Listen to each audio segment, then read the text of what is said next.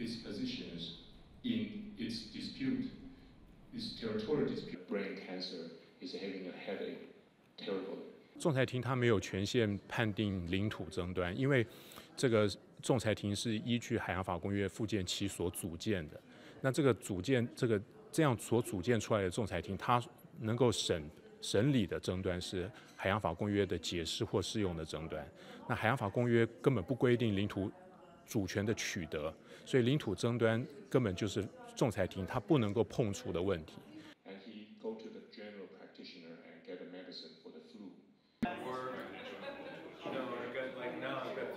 海域划界争端是海洋法公约的解释或适用争端，可是呃，中国政府在二零零六年已经依据公约的条文，公约自己有的条文让缔约方可以依据那个条文去排除海域划界争端被这个仲裁庭所解决，所以仲裁庭他呃，所以中国政府在二零零六年已经做了这个动作，所以换言之，仲裁庭他对于海域划界争端的管辖权早就被剥夺掉了。菲律宾所提的